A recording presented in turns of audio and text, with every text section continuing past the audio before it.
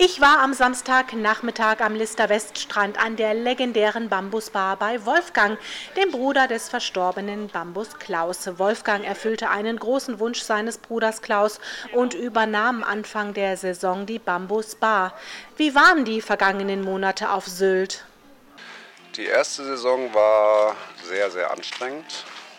Vor allen Dingen die erste Hälfte der Saison,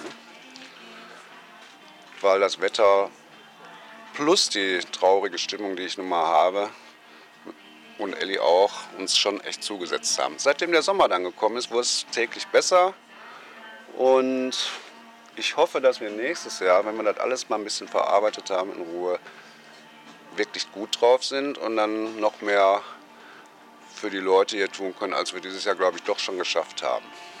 Es geht also weiter mit der Kultbar an der Bushaltestelle. Das dürfte viele Fans freuen. Also ist die äh, Bambusbar auch im kommenden Jahr äh, geöffnet. Äh, weißt du schon ab wann? Ende April vermute ich mal. Wer bis April nicht auf die Gastfreundschaft von Wolfgang und seiner Frau Elli verzichten möchte, kann nach Hintertal in Österreich fahren. Dort bewirtschaftet Wolfgang in den Wintermonaten eine Skihütte. Alle, die das nicht schaffen, müssen sich bis ins nächste Jahr trösten oder nochmal schnell vorbeikommen. Wolfgang, weißt du schon, wie lange ihr jetzt äh, noch hier seid? Äh, wahrscheinlich solange der Surf Cup uns so ein wunderbares Wetter beschert.